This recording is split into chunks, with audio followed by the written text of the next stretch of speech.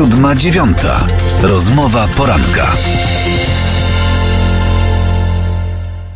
Moim i Państwa gościem jest Tomasz Bonek, dziennikarz, reporter, dokumentalista. Dzień dobry. Dzień dobry, bardzo dziękuję za zaproszenie. Dziś porozmawiamy o książce Lubiąż, biografia cudu. Czułam pański zachwyt tym miejscem, czyli opactwem cysterskim w Lubiążu. Z czego ten zachwyt wynika? To jest niesamowity obiekt, kubaturą trzy razy większy od zamku na Wawelu. Największy zabytek sakralny w Polsce i drugi co do wielkości zabytek sakralny w Europie. Większy jest tylko hiszpański Escorial, a jego historia sięga prawie 900 lat, więc jest o czym opowiadać naprawdę. Trudno się nie zachwycać. No właśnie, zachwyt z jednej strony, ale jednocześnie napisał pan, że ta książka powstała z rozżalenia. Czym to rozżalenie jest spowodowane? Po pierwsze, to rozżalenie jest spowodowane tym, że mało kto słyszał o takim zabytku niesamowitym, a powinien być ten zabytek perłą w koronie polskiej turystyki. A po drugie, że spośród 300 sal, które się znajdują w tym zabytku, zarówno zaledwie trzy zostały odrestaurowane. Więc jest to zabytek, który jest po macoszemu traktowany przez wiele, wiele lat przez nasze państwowe władze. Jest omijany przez to też przez turystów, a naprawdę warto byłoby postawić na niego i zrobić z niego piękną perłę turystyki. Bo to miejsce nie jest w rękach państwa polskiego. Dlaczego nie chce wziąć na siebie e, no, ciężaru w pewnym sensie utrzymania tego miejsca? To w czyich jest rękach? Od 1989 roku zespół obiektów pocesterskich w Lubiążu należy do fundacji, do Fundacji Lubiąż, która robi wszystko, żeby ten obiekt restaurować e, oraz próbuje przez te ponad 30 lat szukać też inwestora właśnie, który byłby zainteresowany. E, niestety ogrom tego obiektu jest taki, że nikt nie chce go przejąć, nikt nie chce go kupić. Fundacja Lubią zwracała się też wielokrotnie i to do Kościoła katolickiego, ale także do Skarbu Państwa, żeby oddać po prostu zupełnie za darmo ten obiekt i niestety nikt go nie chce. Wszystkich przeraża ogrom. Kubatura, raz jeszcze powtórzę, trzy razy zamek na Wawelu. Niesamowita 900-letnia historia. Co ma wspólnego z tym miejscem Michael Jackson? No, jednym właśnie z potencjalnych inwestorów miał być właśnie Michael Jackson. W 1997 roku przyleciał Michael Jackson do Lubiąża śmigłowcem z Wrocławia. Wylądował w polu z kapustą e, zaraz przy boisku takim szkolnym, piłkarskim. Przewieziono go 300 metrów do klasztoru. Spędził w tym obiekcie dokładnie, ktoś mu wyliczył 23 minuty.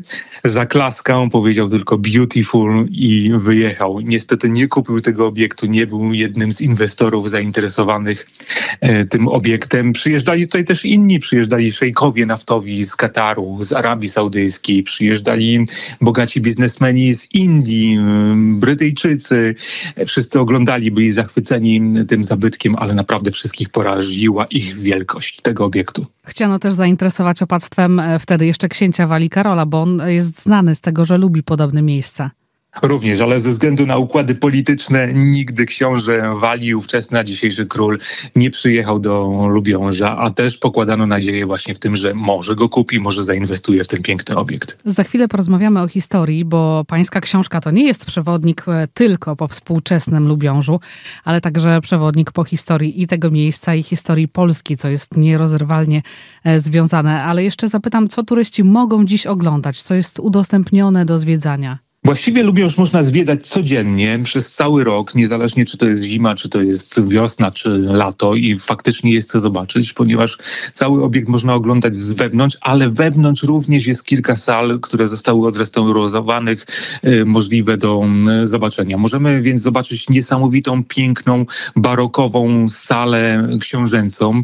Można byłoby ją porównać do największych w Europie sal balowych, która jest monumentalna naprawdę. Na plafonie tej sali znajduje się unikatowe malowidło, bo nie na tynku, nie jest to fresk, tylko na płótnie, które ma powierzchnię ponad 300 metrów kwadratowych. Jest to jeden z największych obrazów olejnych, który kiedykolwiek stworzono na świecie. Jest udostępniony do zwiedzania refektarz letni, pięknie odrestaurowany, czyli dawna jadalnia e, opatów z niesamowitym freskiem przedstawiającym nakarmienie 5 e, tysięcy na stropie tego, e, tej sali. No i jest kościół klasztorny, który również Fundacja Lubiąż pokazuje na co dzień, mimo że jest odarty ze wszystkich barokowych szat, zostało wnętrze gotyckie, pozbawione jakiegokolwiek wyposażenia, ale mimo wszystko i tak warto ten obiekt zobaczyć. I przyznaję, że mm, zobaczyłam na zdjęciach w tej książce e, sklepienie tego refektarza letniego. Nie miałam, to jest naprawdę przepiękna sprawa, przepiękna rzecz. Tak, niesamowicie. No, Lubiąż był bardzo bogato wyposażony. Co ciekawe, też większość tego wyposażenia klasztora, klasztornego kościoła się zachowała i dzisiaj skarby Lubiąża, między innymi malowidła słynnego malarza śląskiego baroku Michaela Wilmana, można oglądać w muzeach Warszawy, Wrocławia, ale przede wszystkim w kościołach Warszawy. Nigdy te skarby nie wróciły do Lubiąża. A początki tego opactwa są związane z rodem Piastów? Tak. Y, Cystersów do Lubiąża już w 1175 roku sprowadził książę Bolesław y, Wysoki, y, wnuk Bolesława Krzywoustego, który no, wracał na swoją ojcowiznę i żeby ugruntowić swoją pozycję, żeby mieć też swój dwór, który będzie mu pomagał w zarządzaniu tymi ziemiami, sprowadził mnichów, którzy szczycili się tym, że potrafią uprawiać ziemię, że potrafią budować takie organizmy, prawie że korporacyjne e, i właśnie oni mieli e, jemu pomagać w tym zadaniu. Czyli początki są piastowskie, a potem jak to w regionach przygranicznych, ścieranie się wpływów, utrata i zdobywanie władztwa nad tym miejscem. Kto rywalizował o, o, o ten region? Jak to z całym Śląskiem bywało, Śląsk przychodził y, również w ręce czeskie, e, w ręce habsburskie, w ręce pruskie. W końcu stał się e, częścią y, Niemiec, Rzeszy Niemieckiej i wrócił y, po II wojnie światowej do Polski. Więc to jest naprawdę e, zamknięta w barokowej pigułce historia całego Śląska, a może i całej Polski. Poza historią mnichów i ich obecnością mamy tutaj mnóstwo ciekawych, a nawet sensacyjnych e, wątków. Jakie były przedwojenne jeszcze plany nazistów na, na to miejsce, którzy e, no, nad nim władali? Przede wszystkim trzeba powiedzieć, że już w XIX wieku ten obiekt y, przestał być klasztorem, wypędzano stąd mnichów, nastąpiła sekularyzacja i przejęło y, ten zabytek państwom pruskie y, i urządzono na ponad 100 lat jeden z najważniejszych na świecie szpitali psychiatry psychiatrycznych właśnie w opactwie w Lubiążu. A podczas II wojny światowej urządzili niemieccy naziści w tym pięknym klasztorze tajny ośrodek badawczy, w którym pracowali pracowali nad technologiami, które miały zrewolucjonizować elektronikę e, i pracowali nad systemami radarowymi, które miały umożliwić Hitlerowi szybsze wygranie wojny e, w taki sposób, że konstruowano tam pierwsze radary, które miały być montowane w samolotach oraz w okrętach podwodnych. Napis Hitler znajdziemy na jednej ze ścian. Cały czas. Tak, y, ponieważ Niemcy restaurowali ten obiekt tuż przed wojną. W latach 30.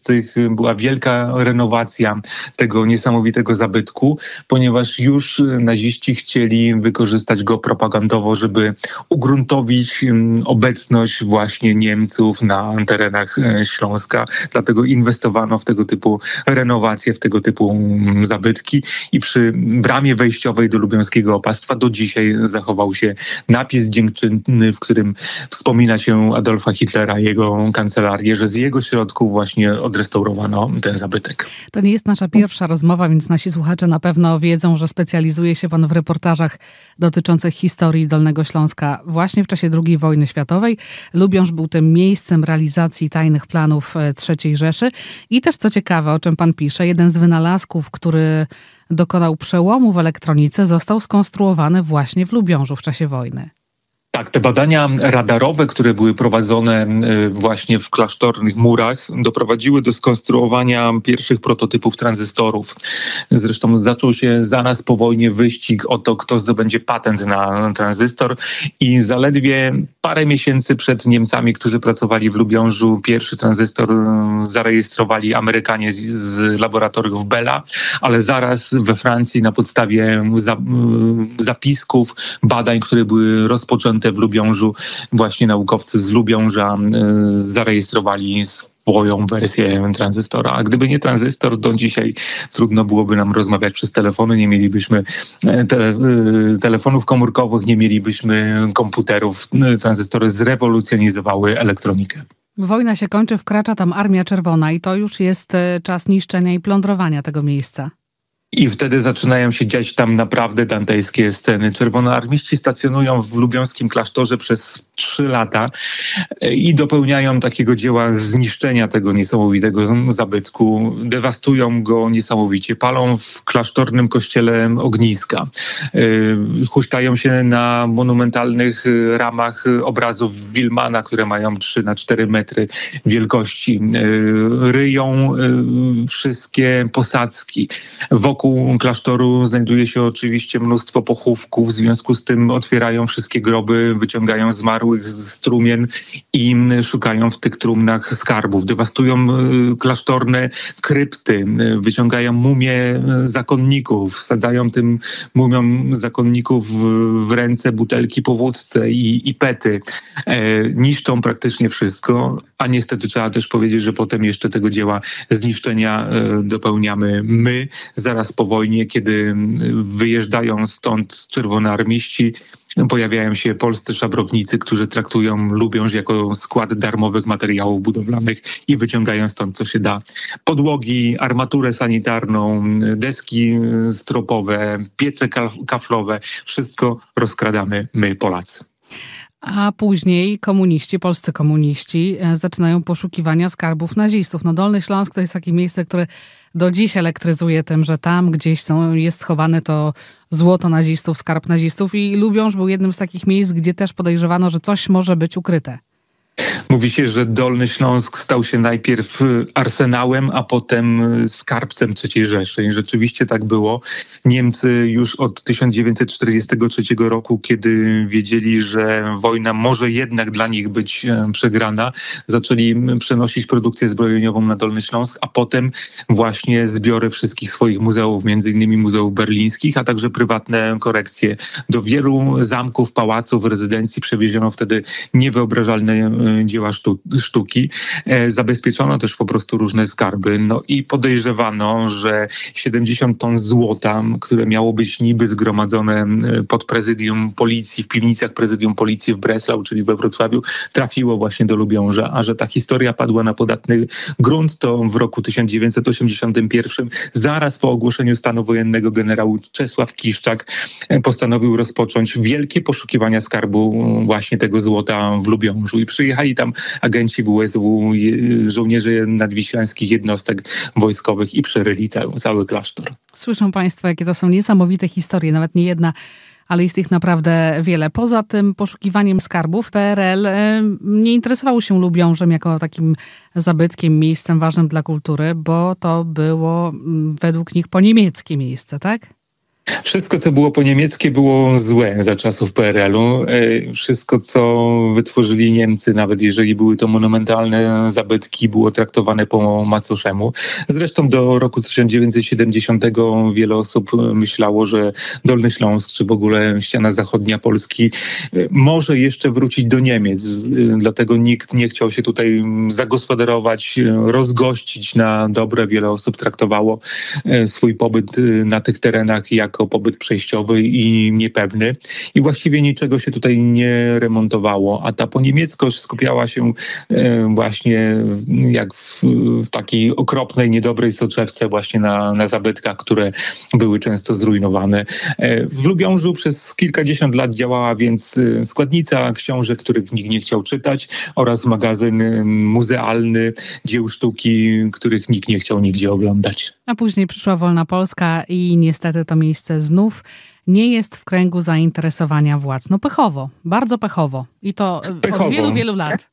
I to niezależnie już w Nowej Polsce, w Wolnej Polsce, niezależnie od tego, która ekipa y, polityczna jest u władzy, właściwie wszyscy politycy, wszyscy ministrowie kultury odpowiedzialni są za stan fatalny Lubiąża od 1989 roku i ja ich o to oskarżam. Uważam, że to jest nasz narodowy wstyd, że ten Lubiąż nie jest sławny tak jak zamki nad Loarą, że nie jest perłą w koronie polskiej turystyki. E, uważam, że wszystkie dotacje, które były przekazane przekazywane na Lubiąż, bo były takie e, przez państwo, to jest tylko listek figowy, który próbuje przykryć ten nasz narodowy wstyd. Bo z Zamkiem Książ się udało e, i tysiące turystów odwiedza to miejsce i się nim zachwyca. Mimo, że można byłoby również powiedzieć, że to również zabytek po niemiecki. Ale tak, Zamek Książ miał szczęście, jest pięknym, niesamowitym zabytkiem, a Lubiąż, który jest znacznie większy, znacznie starszy, potężniejszy, z bogatszą znacznie historią, jest zapomniany i zdewastowany. Czyli my możemy wesprzeć to miejsce po prostu i odwiedzając i płacąc za bilet. I opowiadając, drodzy Państwo, o tym, że mamy taki mm, zabytek, y, publikując y, z naszego pobytu zdjęcia w mediach społecznościowych, sławiąc jego imię, bo naprawdę jest co. Historia, sensacja, tajemnica i piękno, wszystko w jednym miejscu. Dodam jeszcze i tutaj muszę panu pogratulować, jak to jest napisane. Trochę się zastanawiałam, jak, w jakim tonie będzie napisana ta książka, a jest napisana naprawdę świetnie, w taki, z takim reporterskim zacięciem i dlatego znakomicie się ją czyta. Bardzo dziękuję, bardzo mi miło. Książka inna niż e, wszystkie, tak mi się wydaje, bo jest to nie monografia naukowa, a reportażami historycznymi opowiedziana prawie 900-letnia historia niesamowitego zabytku. Lubią biografia cud cudu. Przypomnę Państwu jeszcze i tytuł, więc najpierw, drodzy Państwo, czytamy e, książkę, a później ruszamy zwiedzać. Lubiąż autor tej książki, Tomasz Bonek, był moim i Państwa gościem. Bardzo dziękuję. Bardzo dziękuję i zapraszam do Lubiąża nawet w zimie. Siódma dziewiąta. Rozmowa poranka.